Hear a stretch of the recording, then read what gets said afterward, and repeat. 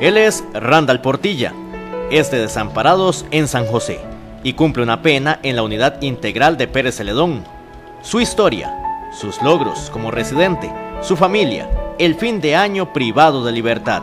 Este es su testimonio.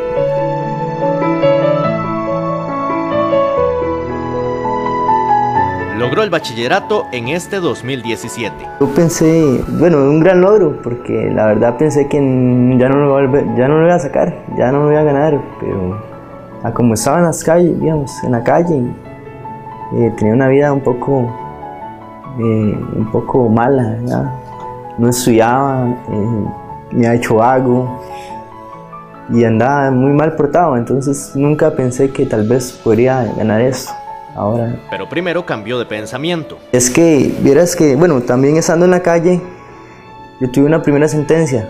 En esa sentencia se me manchó la hoja de delincuencia. Yo ya estaba acá, ya había ganado esas dos primeras materias. Pero al mancharse mi hoja de delincuencia y saber que eso no se borraba, decidí no, no seguir. Ya me aburrí, me aburrí. Digo, ¿para qué va a ser bachiller si, si tengo la hoja de delincuencia manchada?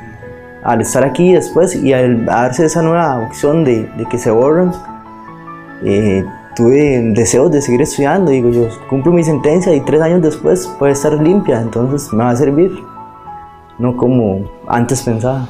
Un título con dedicatoria especial. Y a mi mamá, y a mis hermanos, y a mi familia que ha creído en uno. La familia. Ah, bastante, es muy importante porque ya son las únicas personas que lo llegan a ver.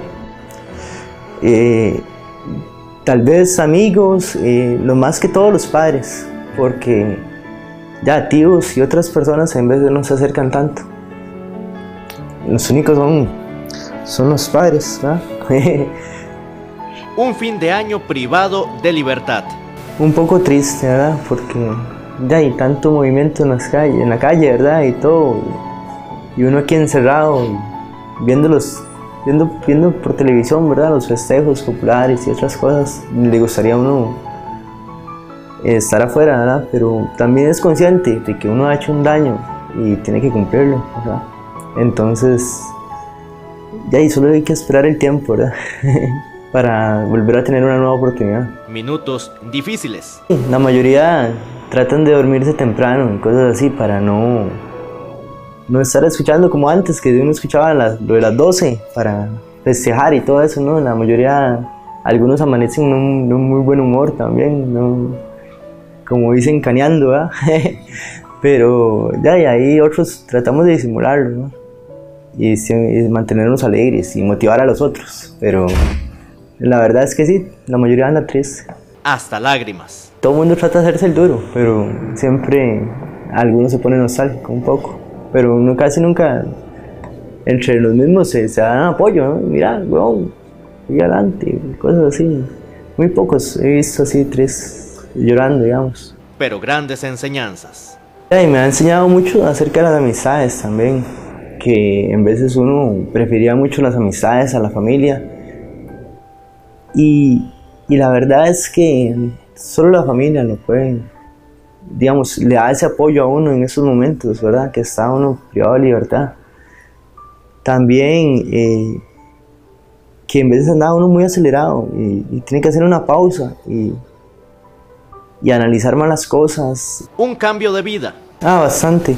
De antes era un poco intolerante, no, no me gustaba, digamos, que me dijeran cosas ni órdenes. Ahora ya he ido cambiando bastante mis caracteres, mis, defectos de carácter. Eh, valoro más la familia, valoro más el tiempo. Sé que puedo aprovechar ese tiempo que me falta todavía de prisión para conseguir tal vez o, o, comenzar una carrera. Y también aquí que van a haber cursos de Lina, entonces eh, aprovecharlos en una educación técnica, en algo que también, entre más armas tenga uno, para afrontar, digamos, la sociedad en el, campo laboral eh, es lo mejor que puede haber. Y un mensaje. Ya, yo les diría que, que se pongan a pensar y que sepan que la vida no se va a acabar en un momento, que es, la vida es larga, que lo que vayamos sembrando en ese momento lo vamos a recoger más adelante.